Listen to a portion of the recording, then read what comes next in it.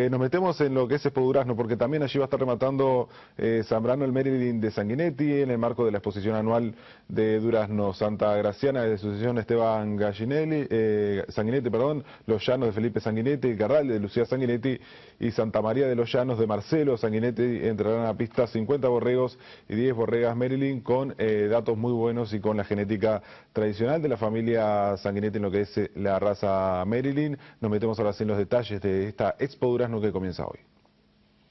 Esta semana dará inicio la centésima cuarta edición de Expo Durazno, actividad que centra la atención de la genética ganadera del país y donde participarán 782 animales. En las primeras horas de la actividad y tras la inauguración oficial, que tendrá lugar a la hora 17 de este jueves, se dará una interesante charla denominada Uruguay Potrero del Mundo, oportunidades para la ganadería en 2017, de la cual participarán Gerardo Zambrano, Federico Stanam y Marcelo Seco. El viernes darán inicio las juras teniendo como única actividad la participación en pista de la raza Aberdeen Angus. Ese mismo día se reunirán las comisiones de seguridad rural y de desarrollo rural de ese departamento y por la tarde se realizarán demostraciones con perros y ovinos. El sábado las actividades se centrarán en juras varias, comenzando a la hora 8.30 con Hereford, Pole Hereford, Corriedal, Paul Dorset, Romney Marsh, Frisona Milchaff, Jersey, Border Leicester, Limousin, Hampshire Down, Texel, Normando, Shorton, Ideal, Charolais, Brangus, Maryland y Bradford, entre otras.